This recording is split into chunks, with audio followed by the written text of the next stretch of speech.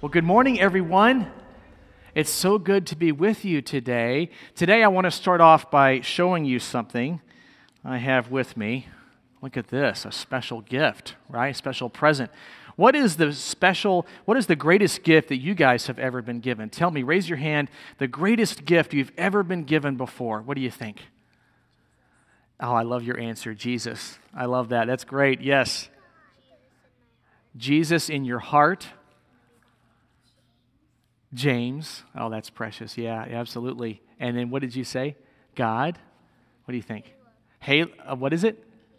Oh, Caleb is, is your most special gift. I love that. It's great. Okay. Yes. What do you think? What? Your Switch. I'm assuming that's a Nintendo Switch. Okay. Got it. Um, any other gifts? Your, your, your favorite gift? Okay and also your family, right? Those are precious gifts that God has given to you. Well, today I want to talk about something that your parents have probably said before, and, and maybe they know the answer to this, but there's this phrase. Can you guys say means of grace? Can you say that? Now, that's a big word. That's a big, big phrase there, means of grace. But basically, what that means is those are the ways that God has chosen to give you His gifts, right? And one of the ways that He gives His gifts is through His special word. So, today, when you came to church today, you got to hear God's special gift of forgiveness of all of your sins, and you heard that spoken to you and those are Jesus' words that he has forgiven you through his word.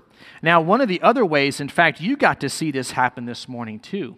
You got to see just over there at our baptismal font, you got to see how God took some water and he gave and he put his word with water and he gave his special gift of forgiveness of sins and salvation and the Holy Spirit to Mr. James Luther today. So those that's one of the other ways that God chose to use as a means or way of giving his special gift, water and his word together. Isn't that great?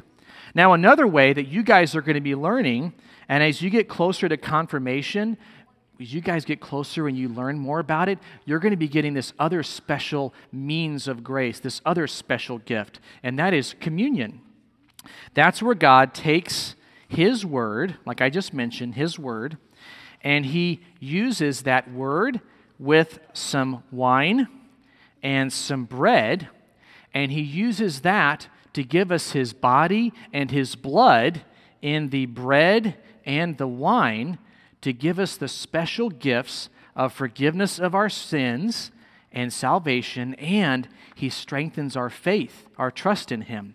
So when you guys get closer to that age, when you're in middle school, when you're getting closer, as you learn more, you're going to be getting this special gift too. And those are called the means of grace. Can you say means of grace? Is that special where God takes His word and He attaches it to something that we can taste and we can feel, right? And He uses that to give us His forgiveness. Isn't that great? But the most common thing that we find in the means of grace is God's word. So I want to encourage you guys to remember to keep on coming to church, keep on hearing God's word, keep reading it with your families, and remember that you have been given the most precious gift of all. As you notice in this box, I put a special cross. A very precious lady gave me this cross, this little pocket cross, to remind me of a gift given to me and to you that Jesus died on the cross and he rose from the dead to forgive you all of your sins. And the way that you get that is through the gift of faith, through trust in Jesus, okay? So remember that you have the most precious gift of all that Jesus earned and did for you, okay? Now, today I'm going to give you a gift, as I always do Hershey's chocolate. So, and again, as I've done before, make sure you guys take some of these and share them with other people and remind them of the precious gift that they've been given too of forgiveness of their sins from Jesus. But let's go let's go ahead and pray first. Ready? Let's fold our hands together. Let's bow our heads and let's pray to Jesus who's with us right now. Ready? All right. Dear Jesus, thank you for giving us the gift of forgiveness. Help us to share you with others. Amen. All right, come forward and get your chocolate.